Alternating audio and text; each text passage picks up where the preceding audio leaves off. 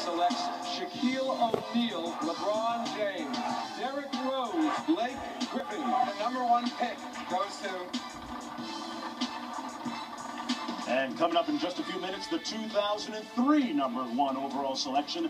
LeBron James and the Miami Heat, the defending two-time champs, trying to even their series at one apiece against the Indiana Pacers in Game 2. Meanwhile, back here, got some serious business to take care of as we take a look at the representatives from the three teams. Will it be the Cleveland Cavaliers if they get the number one pick?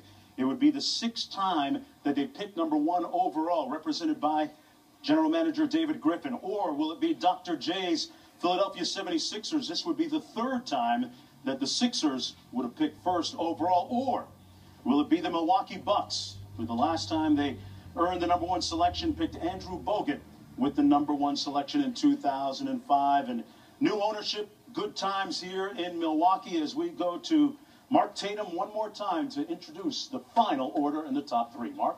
Thanks again, Mark. The third pick in this year's draft goes to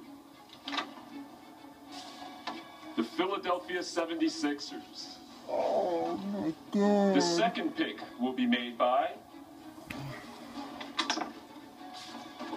the Milwaukee Bucks. And that means that the number one pick in the 2014 NBA draft goes to the Cleveland Cavaliers.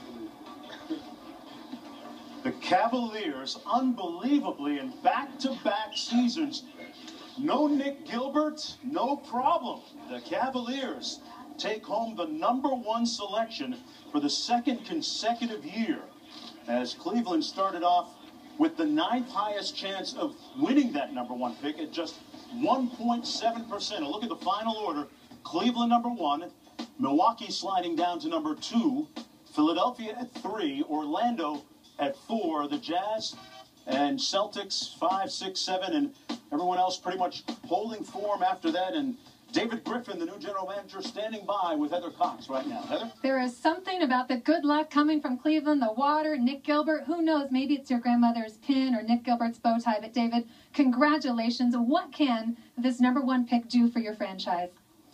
Well, I think it's just a really defining moment for us. We hope it certainly becomes one. But uh, in the words of the great Nick Gilbert, what's not what's not to like? Uh, I have his bow tie here as well, so he he gave, he got it for us again. Hard to believe the third time in four years that you've gotten this number one pick. What holes are you trying to fill in your lineup? I think what we really need to do is get a, a better fit for our roster. We've got an awful lot of talent, and we just need to find the pieces that sort of serve as the conduit to make it all gel for us. Congratulations. Enjoy this, and we'll see you at the draft. Thank you very much. Mark?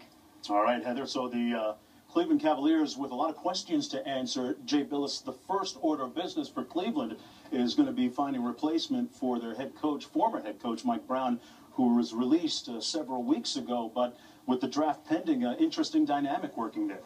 It is, but whoever gets the job is going to be coming into a nice situation with some good young players and then the number one pick in the draft. And you'd rather have the number one pick than any other pick, especially in this year's draft where you've got some options and they're all good ones. Uh, Joel Embiid, I think, is is has to be the top option because of his talent and his upside as a player. Uh, the fact that he's, I think he's going to get better and better. So as a seven footer to be able to do what he can do, uh, gives you a lot lot to look forward to. But it, you know, you can go with Wiggins, you can go with Parker, and we haven't even talked about guys that are further down in the draft because this draft is so deep, like